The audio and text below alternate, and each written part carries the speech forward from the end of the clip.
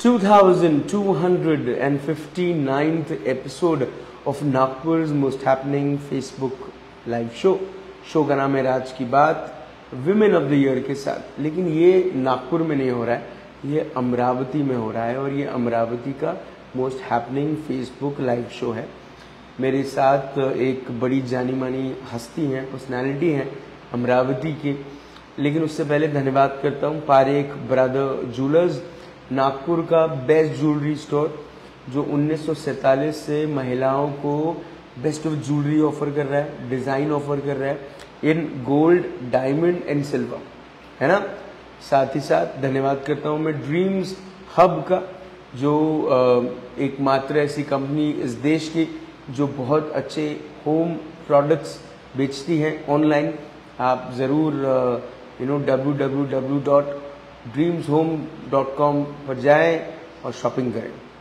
चलिए, मुलाकात करते हैं with record holder Narendra Modi ji के हाथों से मैंने पुरस्कृत एक ऐसी महिला जो जब रंगोली बनाती हैं तो ना ही सिर्फ़ रंग, लेकिन यू नो जो लोग उस रंग को देखते हैं, उस रंगोली को देखते हैं, वो वाकई में अपने आप को धन्य समझते हैं कि उन्होंने मिसेस माधुरी सुधा की कलाकारी देखी।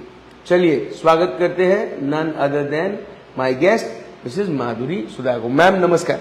नमस्ते। मैम स्वागत आपका राज की बात में। कैसी हैं आप? अच्छी हूँ भैया। अच्छी हैं? अच्छा अभी से अच्छी हैं बचपन से अच्छी हैं? बचपन से अच्छी बचपन से अच्छी हैं? और माधुरी जी ये जो आपका रुझान रंगोली की तरफ़ आया ये कब आया? क्या बचपन से ही इस यू नो इस क्षेत्र में इस कलाकारी में आपका यू नो आपका इंटरेस्ट था? आ, जी हाँ मुझे आर्ट से बहुत लगाव है। मुझे बचपन से कलर के साथ खेलने का बहुत शौक है। मैं बचपन से पेंटिंग्स वगैरह बनाती थी। उसके साथ साथ जब त्योहार आते थे तो हमारे एरिया में सब अपने अपने आँगन में रंगोली बनाते थे। तो वो रंगोली देख देख कर ही मैं बहुत खुश होती थी। जी। उस वजह से मुझे रंगोली का ज़्यादा शौक लगा। जी। तो एक तरफ़ रंग दूसरी तरफ़ ये एक आर्टिस्टिक अप्रोच बहुत सारे लोग यू नो रंगोली तो बना लेते हैं महिलाएँ रंगोली तो बना लेती है लेकिन उसका जो डिज़ाइन है और नए नए डिज़ाइन है और उसके बाद एक स्पेसिफिक साइज़ के ऊपर में काम करना ये कितना डिफ़िकल्ट है या ये कितना आसान है? जी वैसे महाराष्ट्र में पारंपरिक रंगोली मानी जाती है तो बचपन से सारी महिलाएँ तो रंगोली बनाती ही है बच्चे भी बनाते हैं पर हम्म। मुझे उस रंगोली में कुछ हटके करने की पहले से ही जैसे इच्छा थी हम्म। जैसे मैंने एक पिक्चर देखा था उसमें रंगोली में डांस करते करते रंगोली बनाई गई थी तो वो हम्म। मुझे ज़्यादा मेरे दिमाग में इफ़ेक्ट कर गई हम्म। अ, आम्रपली पिक्चर में शायद वो सीन है। तो उससे मुझे ऐसा कुछ जीवन में नया कुछ करने की उमंग हमेशा रहती थी हम्म। पर आफ्टर मैरिज ही मैंने रंगोली में सारे रिकॉर्ड्स वगैरह बनाए और रंगोली आज मुझे 20 इयर्स 23 इयर्स हो रहे जो मैंने रंगोली छोड़ी नहीं है और मुझे उसमें नए नए कुछ ना कुछ नया लाती हूँ और करती हूँ तो वक्त के साथ क्या साइज़ की रंगोली क्या क्या आर्ट की रंगोली किस किस्म के डिज़ाइन आपने वक्त के साथ लेकर आए आप। जी। वैसे देखो तो हम लोग वेलकम रंगोली बनाते हैं फूलों की पत्तियों की बनाते हैं पर इससे कुछ हटके करना एक हम्म। मैसेज लोगों के तक जाए तो मुझे सब्जेक्ट रंगोली पहले से बहुत पसंद है। अमरावती में जब मैंने फ़र्स्ट कंपटीशन जीता उसमें मैंने दो बूंद ज़िंदगी के आ, की रंगोली बनाई थी और मुझे वो उसमें फ़र्स्ट प्राइज मिला था। जी। तो जब से मैंने रंगोली में सब्जेक्ट के ऊपर रंगोली बनाना चालू की। हम्म।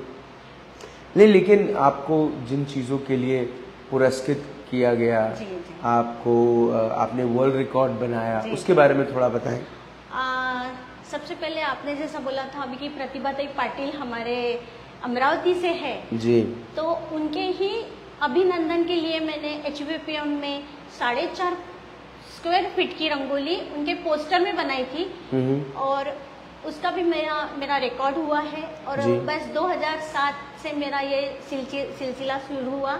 2007 2008 2009 मैंने डांस विथ रंगोली किया है। डांस करते करते एच में पंद्रह हज़ार स्क्वायर फीट की रंगोली बनाई। हम्म। वो मैंने भारत माता को समर्पित की है।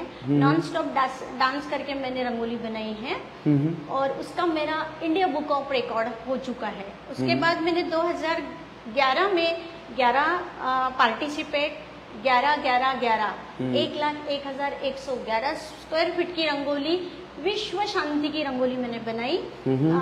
अमरावती में जिला स्टेडियम में। हम्म, तो उसका भी मेरा इंडिया बुक ऑफ़ रिकॉर्ड हुआ एशिया बुक ऑफ़ रिकॉर्ड हुआ। उसके बाद मैंने कराटे विथ रंगोली की। कराटे करते करते पंद्रह हज़ार स्क्वायर फीट की थर्टी स्टूडेंट्स के साथ वो रंगोली बनाई। हम्म, सेल्फ डिफेंस को लेके महिलाओं को सशक्तिकरण आत्म संरक्षण के हिसाब से मैंने वो रंगोली बनाई। हम्म, उसके बाद मैंने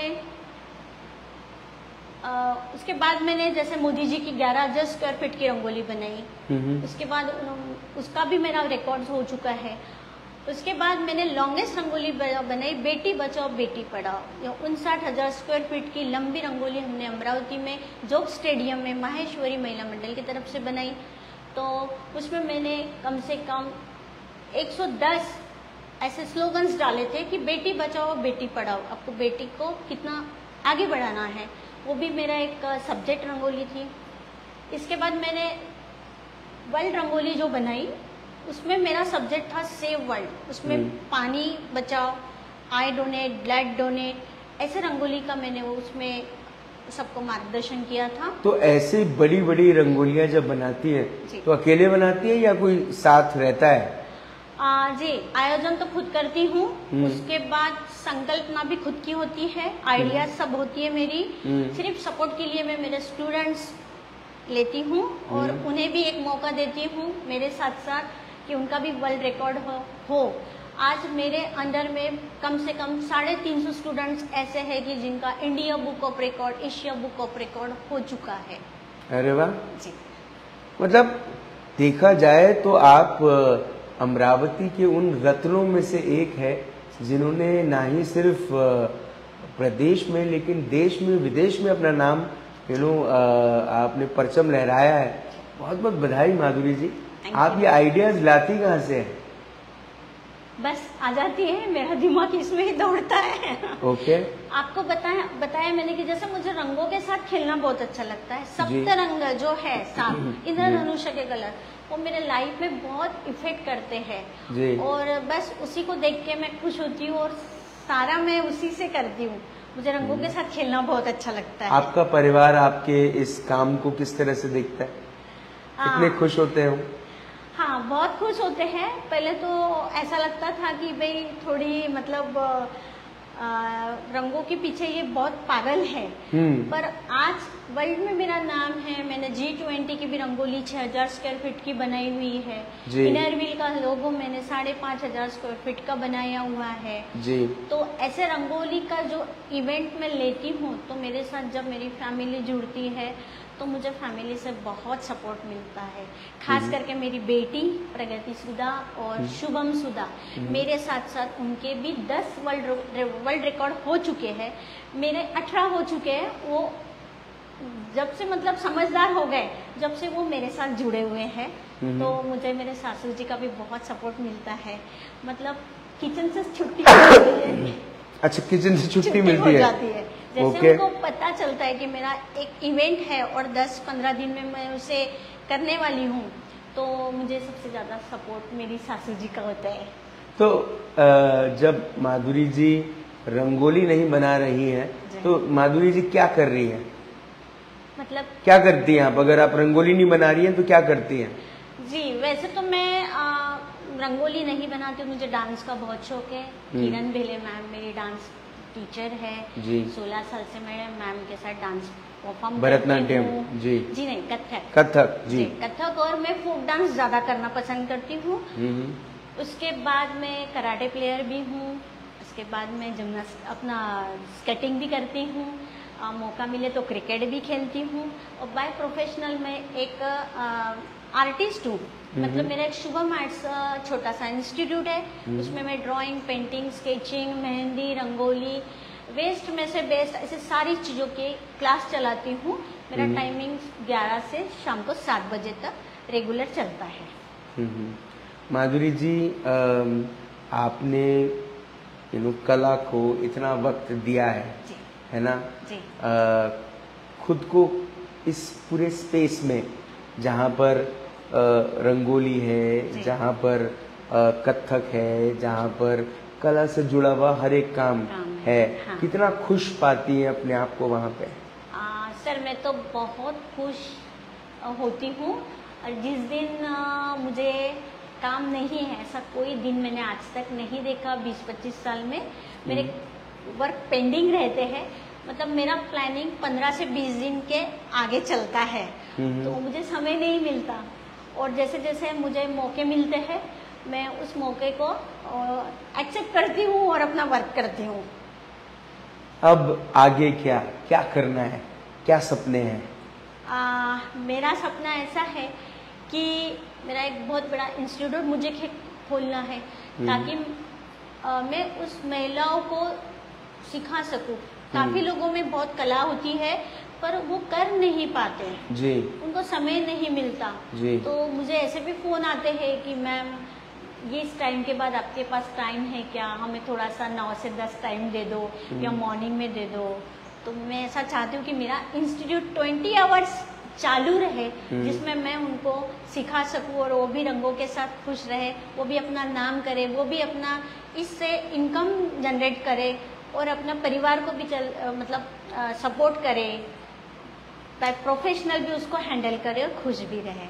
आपकी ज़िंदगी का यू नो कौन सी कौन सी ऐसी सोच है आपकी?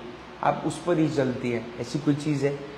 हाँ मेरी एक म- मतलब पर्सनल व्यू है जो मुझे अच्छा लगता है वो मैं करती हूँ हम्म। ताकि उससे किसी को नुकसान न हो उसका समाज को भी फ़ायदा होए। बच्चे बच्चों से मतलब मेरे पास फिफ्थ पाँच साल से बच्चे से लेके साठ साल तक के बच्चे मतलब लेडीज़ आती है और मैं उनमें खुशियाँ देखना पसंद करती हूँ। उनको मैं सिखाना पसंद करती हूँ तो मुझे ऐसा लगता है कि मैंने ऐसा कुछ करना चाहिए। कि आर्ट को आगे बढ़ाना चाहिए। अभी रंगोली कैसे लोग थोड़ी थोड़ी हमारी संस्कृति पीछे पीछे होते जा रही है। तो मैं चाहती हूँ मेहंदी है रंगोली है और छोटी छोटी क्राफ्ट की जो चीज़ें हैं ये और आगे आए। इसमें हर स्कूल में भी ये सिखाई जाए जो कि ड्राइंग को थोड़ा बहुत नई वैल्यू दी जाती है। जी।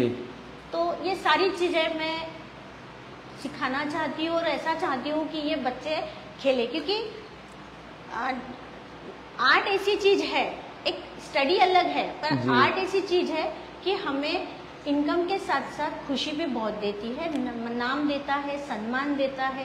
तो ये सारी चीज़ें अगर अपने हाथ में है तो मैं सबसे यही कहना चाहूँगी आपको जो आर्ट पसंद है आप उसको छोड़ो मत। उसको लेके चलो उसको सीखो बाय मतलब एकदम अच्छे से सीखो बेसिक से सीखो और उसको लेके ही आप आगे बढ़ो। प्रोफेशनली उसको आप प्रोफेशनली यूज़ करो। करो उसको। अगर ज़िंदगी की सुनहरी किताब लिखी जाती किताब के सुनहरे पन्ने पर ये नाम माधुरी सुदी सुधा। सुधा। माधुरी सुधा ये नाम लिखा जाता। उसके नीचे क्या आप ऐसा लिखती जिसे पढ़ने के बाद लोग आपको हमेशा याद करें? कोई ऐसी बात जो आपने अब तक जीवन में सीखी है। मूल मंत्र जीवन का कुछ ऐसा सीखा है जो आप चाहती हैं कि आप उसके नीचे लिखे जिसके बाद लोग उसको पढ़े और फॉलो करें। जी। बहुत गहन प्रश्न है। हाँ कठिन है। कठिन प्रश्न है। लेकिन एक ऐसी चीज़ जो आपको ऐसा लगता है कि जीवन ऐसा ही है मतलब। जी। मैं तो आर्टिस्ट लिखना पसंद करूँगी। आर्टिस्ट। आर्टिस्ट। हम्म। क्यों? आर्टिस्ट ऐसा होता है जब जिस व्यक्ति में आर्ट होती है चाहे वो संगीत की हो चाहे कोई भी चीज़ की हो संगीत नृत्य हो हम्म। जब वो इसमें आते हैं तो उन्हें वो सारी दुनिया को भूल जाते हैं। हम्म। भूल जाते हैं और वो अपने आप में अ, मतलब खुद को अ, खुश कर, के साथ साथ लोगों को भी खुश करते हैं। हम्म उसमें से एक ऐसी खुशी की लहर आती है जिसमें सारा वातावरण अच्छा हो जाता है। मुझे एक पैसा कमाना अलग चीज़ है। हर कोई पैसे कमाता है। जी। पर आर्ट एक ऐसा है कि बोलते हैं ना हर इंसान को ज़िंदा रखता है। तो इंसान होना भाग्य की बात है कलाकार होना सौभाग्य की की बात है। आपने अपना वक्त दिया। माधुरी जी, आप यहाँ पर आई। आपने इस यू नो आपने ये इंटरव्यू दिया। आप वाकई में एक super woman of the year हैं। सिर्फ़ ये ईयर के लिए नहीं, आने वाले कई ईयर्स के लिए। लेकिन वाकई में आपकी तारीफ़ जितनी की जाए, उतनी कम है। जिस डेडिकेशन के साथ, जिस डिवोशन के साथ आपने अब तक अपना काम किया, अपने काम से अपना नाम किया मुझे ऐसा लगता है कि सरस्वती माँ का एक बहुत स्पेशल आशीर्वाद है आप पे। और ये हमेशा आशीर्वाद बना रहे और आप ऐसे ही हमें प्रोत्साहित करती रहे। आपने अपना वक्त दिया आप यहाँ पर आई। उसके लिए बहुत बहुत धन्यवाद thank you so much thank you Madhuri Sudha ji से बात हुई मुलाकात हुई। In this exclusive episode of Raaz Ki Baat बहुत कम ऐसे लोग होते हैं दुनिया में जो अपने जीवन को अपने अपनी कला के लिए अपने काम को लेकर समर्पित करते हैं। लेकिन वो समर्पण भी काफ़ी उनके लिए तारीफें बटोर कर लाता है। अगर आपके घर में एक छोटी सी बिटिया है जो कला के पीछे दीवानी है, रंगों के पीछे दीवानी है, और आपको ऐसा लगता है कि वो रंगों के माध्यम से, अपनी कला के माध्यम से दूसरों के जीवन में भी रंग भर सकती है तो समझिए वो माधुरी सुधा बन रही है। हर घर में एक माधुरी ज़रूरी है। ज़िंदा रहे। जय हिंद।